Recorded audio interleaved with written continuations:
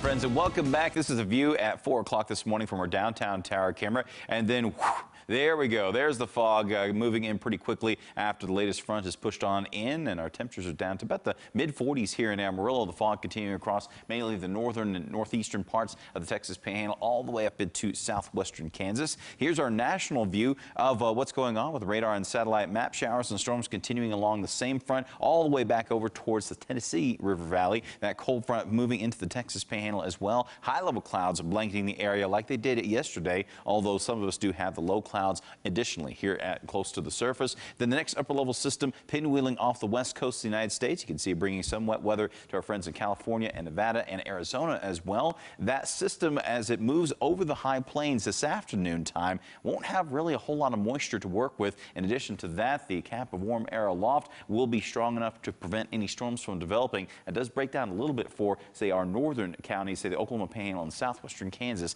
later on tonight. A few pop-up rain showers not out of the question but that chance is not very high. Back to what's going on right now. We have a dense fog advisory in effect for our southwestern Kansas counties until 11 o'clock. That visibility at times getting less than a quarter of a mile. And of course, that's the case up around Liberal visibility right at a quarter of a mile. Uh, basically seeing a few blocks in front of you, and that's about it. So make sure to slow down if you have to drive through any fog. Here in town, temperatures in the mid to upper 40s right around 7 o'clock. By noon, we'll see the fog clearing out. Really, the fog will be done by about 9 or 10, and we'll heat up to around 65 degrees. Winds turning in from the south, from the southwest for the remainder of the day. The winds cranking up to around the 15 to 25 mile per hour range and a high temperature of 76 here in Amarillo. Where the clouds stick around, though, we're going to see cooler conditions today with highs instead in the 60s. Let's take a look at our lake levels. Lake Meredith now rising to 77 feet deep. Even we're at uh, 47.77 feet deep for, uh, towards uh, Greenbelt Lake and Ute Lake at 81.17 and holding steady from what it was yesterday. On our seven day forecast, we'll continue on